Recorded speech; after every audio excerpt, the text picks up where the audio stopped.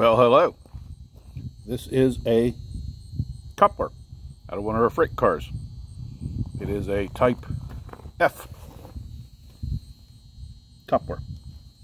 We also have Type E couplers here. And the difference in the Type E and the Type F, this would not be here.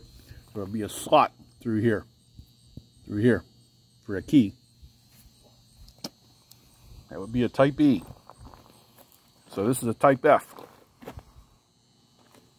Have to watch my video on the draft gears I made. Go a little bit more and uh, show you a little bit better about all that. I'll put a link to the draft gears video in the description. Type F coupler.